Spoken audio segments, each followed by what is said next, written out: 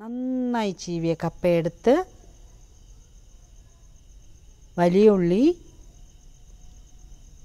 പച്ചമുളക് ഇഞ്ചി മല്ലിയില കറിവേപ്പില ആവശ്യത്തിനുള്ള ഉപ്പും ചേർത്ത് നന്നായി മിക്സ് ചെയ്ത് ബോളാക്കി എണ്ണയിലിട്ട് എടുക്കുക.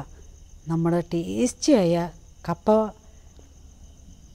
നാലുമണി പലഹാരം റെഡി കപ്പ പക്കോട റെഡിയായേ എല്ലാവരും ടേസ്റ്റ് ചെയ്ത് നോക്കൂ. സിമ്പിളായ ഡിഷാണ്